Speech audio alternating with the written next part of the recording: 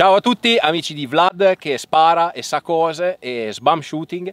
Oggi siamo sulla linea di tiro per provare il Dryse modello 1841. Oggi è una giornata molto calda, quindi diciamo che soleggiata, quindi siamo nelle stesse, più o meno le stesse condizioni che incontrarono i prussiani a Königgrätz nel 1866, quindi aggiungiamo realismo. Spariamo a 50, 100 e 200 metri contro una sagoma umana con queste munizioni fatte da me. Speriamo che funzionino bene gli inneschi. E niente vediamo come se la cava.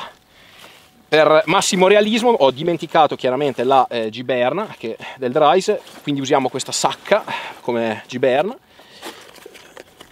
E iniziamo. 50 metri. Vai bello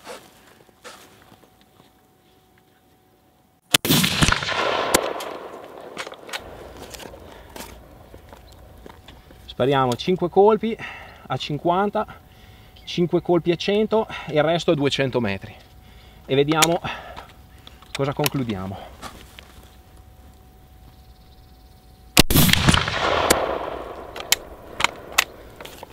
Sto mirando al centro massa quindi simuliamo quello che potrebbe essere proprio l'ingaggio contro un nemico che ci sta sparando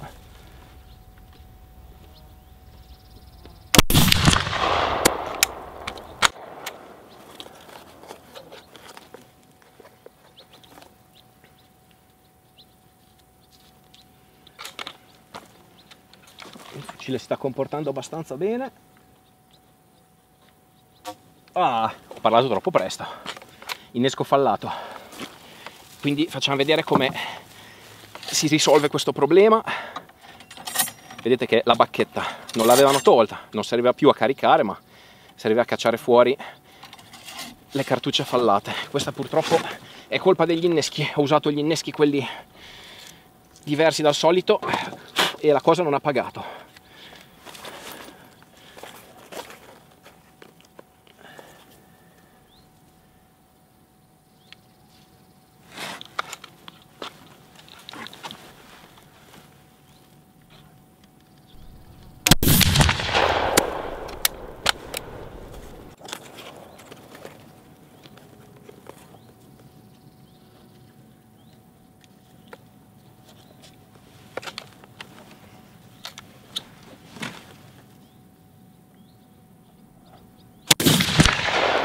ok.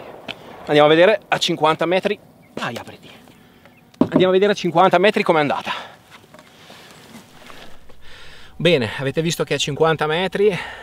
L'abbiamo headshottato quindi vuol dire che mirando al centro massa è andato alto. Adesso spariamo a 100 metri ci aiutiamo anche con la cinghia tiro mirato e spariamo ai 100 metri. Allora tuccia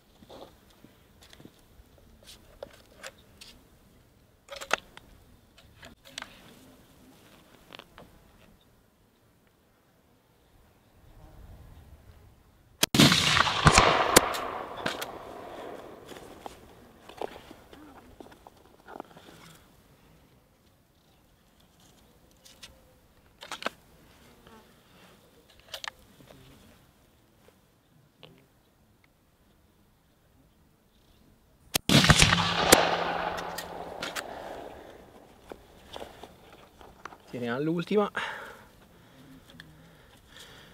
vedete che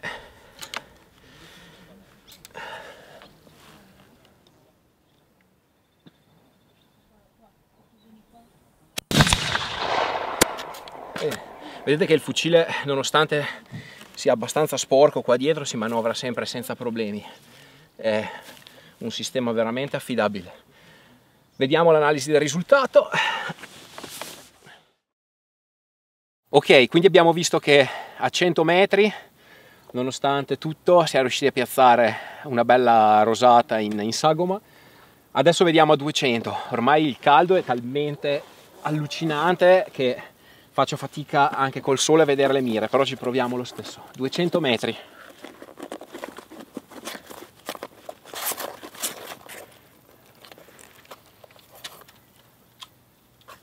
Sperando che gli inneschi non ci abbandonino.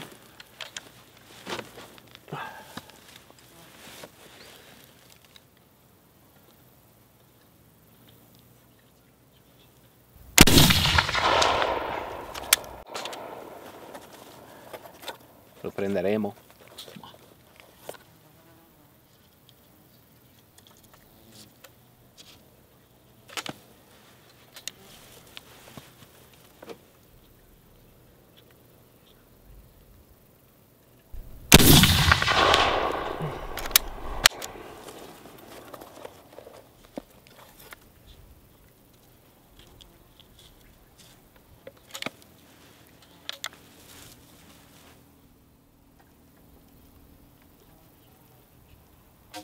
Ah, parlo troppo presto. Gli inneschi ci hanno abbandonato anche sto giro.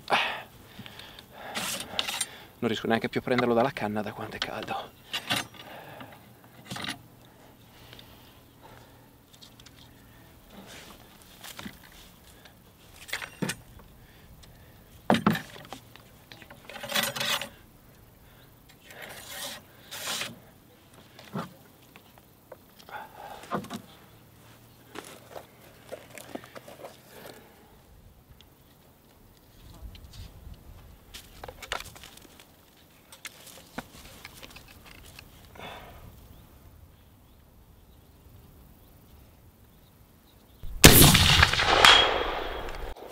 Ho preso una piastra.